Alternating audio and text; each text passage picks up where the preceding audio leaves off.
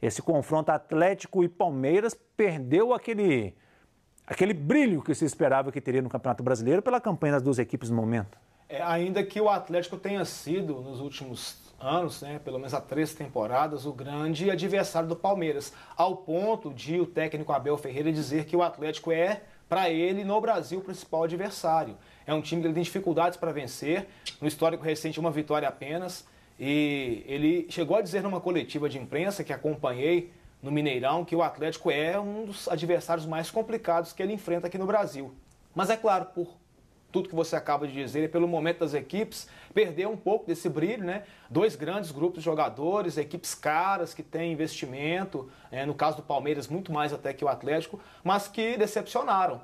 Palmeiras tinha a Copa Libertadores como talvez a tábua de salvação, ficou pelo caminho foi um pouco além do Atlético, é bem verdade, mas ficou pelo caminho também.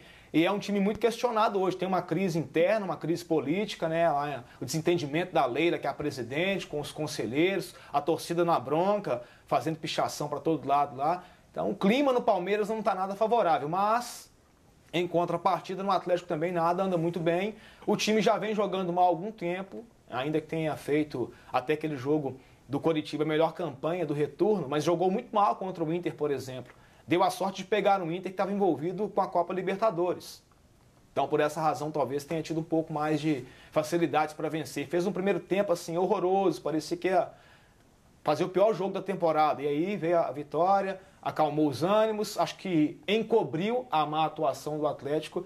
Depois veio a realidade, né? Virada para o Coritiba em casa. Eu acho que é, o momento é ruim para os dois lados, mas para o Atlético também não é muito diferente, não.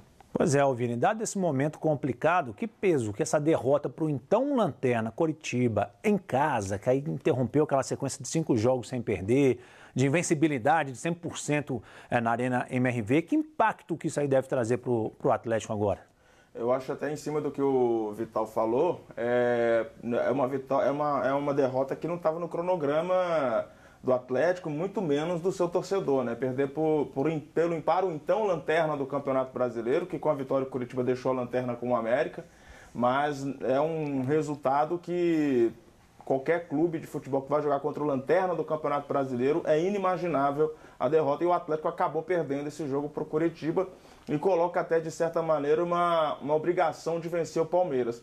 Eu vejo que o Palmeiras hoje ele enfrenta talvez a crise política, a crise interna mais grave desde o período mais, mais difícil do clube, né? que tinha rebaixamentos, campanhas ruins no Campeonato Brasileiro.